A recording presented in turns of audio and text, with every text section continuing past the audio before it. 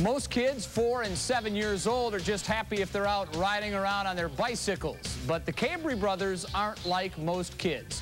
28 sports reporter Mark Olish introduces us to a couple of young daredevils who are fearless on their motorcycles.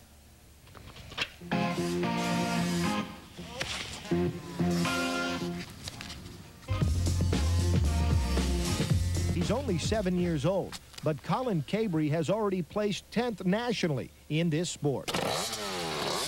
And he loves the challenge of motocross.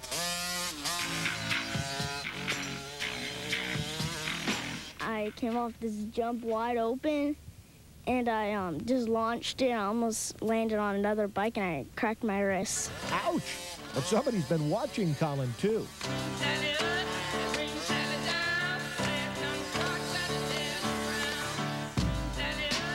His younger brother, Chase, he's four years old. These two brothers ride in competitions all over the country. But like us, you may be wondering, just what does mom think of her two little ones on motorbikes? Danger!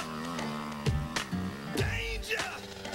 I just pray the whole time and hold my breath and and wait till the end. They say, watch out for kickers, and my mom says, go slow. But Lisa also believes the boys have a special talent for this sport. Besides, they watch out for each other. Line it up, baby! Sometimes he's in the back, and when when I crash, he helps me pick up my bike and start it.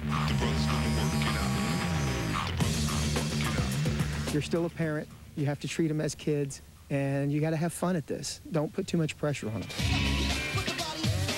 That's even if we have to eat their dust. Mark Olesh, 28 Tampa Bay Sports. All right, thanks a lot, Mark. Coming up at 6:20, the Rays try again against the Red Sox. 0-11 this year. The Braves go for first place with a win today. We'll tell you if they got it. Plus, the NBA draft happens tonight. All that uh, 30 minutes from now. I have decided that that's the new definition of brotherly love. Young Yes. Chase, the four-year-old, said that sometimes when he wrecks, his brother will ride along up next to him, pick up his bike, start it for him, and get him on his way. That is brotherly love. Did you guys do that when you were young? Oh, absolutely not. My brother was wrecked. I'd go right by him and wave to him. Drive over me.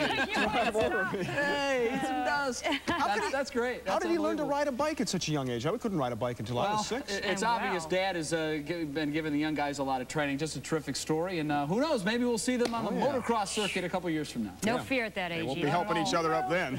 no, they won't. Thanks, Jay. All right. And I'll be back with Marty in just a minute for 28 Tampa Bay News at 6. We'll have more on a gator attack out of Pasco County that sent a woman into surgery.